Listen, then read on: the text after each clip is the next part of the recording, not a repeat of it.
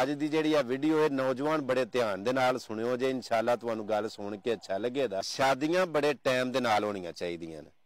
ਸਾਡੇ ਪਿੰਡ ਇੱਕ ਬੰਦਾ ਸੀ, ਉਹਦੀ ਉਮਰ ਹੋ ਗਈ 40 ਸਾਲ। 40 ਸਾਲਾਂ ਬਾਅਦ ਉਹਦਾ ਵਿਆਹ ਹੋਇਆ ਤੇ ਜਿੱਦਨ ਉਹਦਾ ਵਿਆਹ ਸੀ, ਹਫ਼ਤੇ ਵਾਲੇ ਦਿਨ ਬਰਾਤ ਸੀ, ਤੇ ਇਤਵਾਰ ਵਾਲੇ ਦਿਨ ਇੱਕ ਹੋਰ ਮੁੰਡਾ ਉਹਦੀ ਬਰਾਤ ਸੀ। ਉਹ ਇਤਵਾਰ ਵਾਲੇ ਦਿਨ ਜਿਹੜੀ ਬਰਾਤ ਸੀ, ਉਸ ਮੁੰਡੇ ਦੀ ਉਮਰ ਸੀ 20 ਸਾਲ।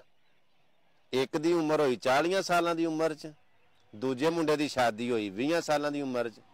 ਇੱਕ ਦਿਨ ਇਤਫਾਕ ਹੋਇਆ, ਉਹ ਦੋਵੇਂ ਹੀ ਬੰਦੇ ਇਕੱਠੇ ਬੈਠੇ ਸਨ। ਮੈਂ ਵੀ ਉਤੋਂ ਟੁਰ ਗਿਆ ਤੇ ਗੱਲਾਂ ਦੇ ਵਿੱਚੋਂ ਗੱਲ ਸ਼ੁਰੂ ਹੋ ਗਈ। ਮੈਨੂੰ ਪੁੱਛਣ ਲੱਗ ਪਏ ਵੀ ਸੁਣਾਓ, ਬਾਲ ਬੱਚੇ ਦਾ ਮੈਂ ਅੱਲਾ ਬੜਾ ਸ਼ੁਰੂ ਕਰ ਉਹਨਾਂ ਨੂੰ ਮੈਂ ਪੁੱਛਿਆ, ਮੈਂ ਤੁਸੀਂ ਸੁਣਾਓ ਆਖਣ ਲੱਗੇ ਬੜਾ ਅੱਲਾ ਦਾ ਸ਼ੁਕਰ ਹੈ। ਉਹ ਜਿਹਦੀ 40 ਸਾਲਾਂ ਦੀ ਉਮਰ 'ਚ ਸ਼ਾਦੀ ਹੋਈ ਸੀ ਨਾ, ਉਹ ਆਪੀ ਬੋਲ ਕੇ ਆਖਣ ਲਗਾ ਆਂਦਾ ਯਾਰ, ਕੁਝ ਵਜ੍ਹਾ ਸਨ, ਕੁਝ ਮਜਬੂਰੀਆਂ ਸਨ ਤੇ ਵਿਆਹ ਲੇਟ ਹੋਇਆ।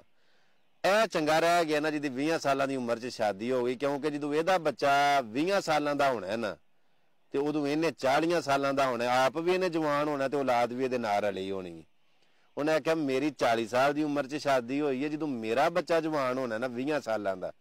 ਤੇ ਉਹਨੇ ਆਖਿਆ, ਮੈਂ ਉਦੋਂ 60 ਸਾਲਾਂ ਤੇ ਪੜਿਆ ਹੋਣਾ। ਗੱਲ ਕਰਨ ਦਾ ਮਕਸਦ ਇਹ ਵੇ ਕਿ ਬੰਦਾ ਆਪੀ ਕਾਇਮਦਮ ਹੋਏ ਤੇ ਔਲਾਦ ਨਾਲ ਰਲੀ ਹੋਵੇ।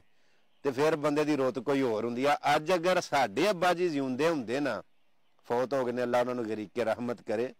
ਅਗਰ ਮੇਰੇ ਅੱਬਾ ਜੀ ਜ਼ਿੰਦਾ ਹੁੰਦੇ ਤੇ ਸਾਡੇ ਅੱਬਾ ਜੀ ਤੇ ਅਸੀਂ ਇੰਜ ਲੱਗਣਾ ਸੀ ਜਿਵੇਂ ਭਰਾ ਭਰਾ ਬੈਠੇ ਨੇ। ਮਤਲਬ ਉਹਨਾਂ ਦੀ ਸ਼ਾਦੀ ਬੜੇ ਟਾਈਮ ਦੇ ਨਾਲ ਹੋ ਗਈ ਸੀ।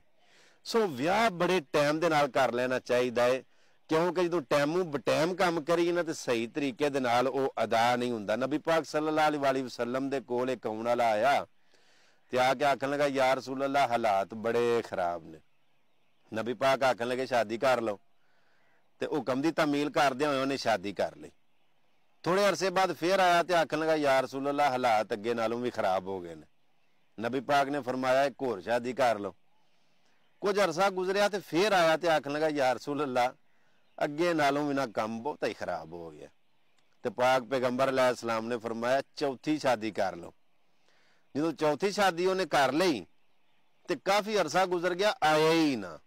ਇੱਕ ਦਿਨ ਨਬੀ ਪਾਕ ਸੱਲੱਲਾਹੁ ਅਲੈਹਿ ਵਸੱਲਮ ਆਪਣੇ ਸਹਾਬਾ ਨੂੰ ਪੁੱਛਦੇ ਨੇ ਕਿ ਸਹਾਬਾ, ਉਹ ਆਉਣ ਵਾਲਾ ਇੱਕ ਕਮਦਾ ਹੁੰਦਾ ਜਿਹਦੇ ਹਾਲਾਤ ਬੜੇ ਖਰਾਬ ਸਨ, ਤੇ ਕਾਫੀ ਦੇਰ ਹੋਈ ਇਹ ਆਇਆ ਨਹੀਂ। ਤੇ ਸਹਾਬਾ ਮੁਸਕਰਾ ਕੇ ਆਖਣ ਲੱਗੇ ਯਾ ਰਸੂਲ ਅੱਲਾ ਘੋੜੇ, ਊਠ, ਬੱਕਰੀਆਂ ਦੇ ਰੇਵੜ, ਕੋਈ ਰੇਲਾਂ ਫੇਲਾਂ ਹੀ ਹੋ ਗਈਆਂ ਤੇ ਉਹਨਾਂ ਦੇ ਵਿੱਚੋਂ ਕਿਤੇ ਮਗਨ ਹੋ ਗਿਆ ਉਹਨੇ। ਜਦੋਂ ਕਾਫੀ ਅਰਸੇ ਬਾਅਦ ਨਾ ਫੇਰ ਆਇਆ ਨਾ तो नबी ਪਾਕ ਵੀ ਮੁਸਕਰਾ ਪਏ तो ਆਖਣ लगे ਖੈਰ सल ਹੈ ਆਖਣ लगा ਖੈਰ ਸੱਲ। ਹੈ ਨਵੀ पाक सल्लल्लाहु अलैहि वसल्लम ਦੇ ਜਿਹੜੇ ਫਰਮਾਨ ਵਾਲੀ ਸ਼ਾਨ ਨੇ ਸਾਡੇ ਵਾਸਤੇ, ਬਿਹਤਰੀਨ ਜ਼ਿੰਦਗੀ گزارਣ ਵਾਸਤੇ ਬੜਾ ਅੱਛਾ ਲੈਸਨ ਔਰ ਬੜਾ ਅੱਛਾ ਸਬਕ ਹੈ ਦਰਅਸਲ ਜਦੋਂ ਸ਼ਾਦੀ ਹੁੰਦੀ ਏ, ਅਗਰ ਤੁਹਾਡੇ ਹਾਲਾਤ ਖਰਾਬ ਨੇ, ਤੁਹਾਡਾ ਸ਼ਰੀਕੇ ਹਯਾਤ ਯਾਨੀ ਤੁਹਾਡੀ ਬੀਵੀ ਜਦੋਂ ਤੁਹਾਡੇ ਨਾਲ ਮਿਲਦੇ ਨੇ ਦੋਵੇਂ ਹੀ, ਤੁਸੀਂ ਦੋਵੇਂ ਮਿਲੇ ਹੋ ਤੇ ਯਕੀਨਨ ਹੋ ਸਕਦਾ ਕਿ ਉਹਨਾਂ ਦੇ ਹਾਲਾਤ, ਉਹਨਾਂ ਦੇ ਮੁਕੱਦਰ ਠੀਕ ਹੋਣ, ਜੋ ਤੁਹਾਡੇ ਹਾਲਾਤ ਖਰਾਬ ਨੇ ਤੇ ਉਹ ਤੁਹਾਡੇ ਨਾਲ ਮਿਲੇ ਨੇ ਤੇ ਤੁਹਾਡੇ ਹਾਲਾਤ ਬਿਹਤਰ ਹੋ ਜਾਣ।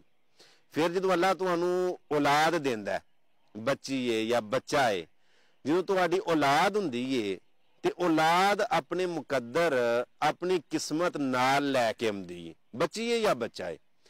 ਹੁਣ ਉਹਨਾਂ ਬੱਚਿਆਂ ਦਾ ਜਿਹੜਾ ਰਿਜ਼ਕ ਦਾ ਸਬਬ ਏ, ਉਹ ਤੁਹਾਡੀ ਜ਼ਿੰਮੇਵਾਰੀ ਏ। ਉਹ ਸਬਬ ਅੱਲਾ ਨੇ ਬਣਾ ਦੇਣਾ ਯਾਨੀ ਗਾਇਬ ਦੇ ਖਜ਼ਾਨਿਆਂ ਦੇ ਵਿੱਚੋਂ ਕੋਈ ਨਾ ਕੋਈ ਅੱਲਾ ਨੇ ਰਾਹ ਕੱਢ ਦੇਣਾ ਸੋ ਪਰੇਸ਼ਾਨ ਨਾ ਹੋ ਕਿ ਅਸੀਂ ਅੱਗੇ ਹੀ ਬੜੇ ਮਜਬੂਰ ਆ ਅਸੀਂ ਅੱਗੇ ਹੀ ਬੜੇ ਪਰੇਸ਼ਾਨ ਆ ਵਿਆਹ ਕਰ ਲਾਂਗੇ ਤੇ ਪੈਂਪਰ ਕਿੱਥੋਂ ਪੂਰੇ ਕਰਾਂਗੇ ਤੇ ਨੀਡੋ ਕਿੱਥੋਂ ਪੂਰੇ ਕਰਾਂਗੇ ਤੇ ਦੁੱਧ ਕਿੱਥੋਂ ਪੂਰੇ ਕਰਾਂਗੇ ਤੇ ਉਹ ਅਖਰਾਜਾਤ ਲਵਾਜ਼ਮਾਤ ਕਿੱਥੋਂ ਪੂਰੇ ਕਰਾਂਗੇ ਜਿਹੜੇ ਰੱਬ ਦੀ ਜ਼ਾਤ ਨੇ ਤੁਹਾਨੂੰ ਪੈਦਾ ਕੀਤਾ ਹੈ ਜਾਂ ਜਿਨੇ ਤੁਹਾਨੂੰ ਔਲਾਦ ਦਿੱਤੀ ਏ, ਉਹ ਤੁਹਾਡੇ ਹਾਲਾਤ ਨਹੀਂ ਬਿਹਤਰ ਕਰ ਸਕਦਾ।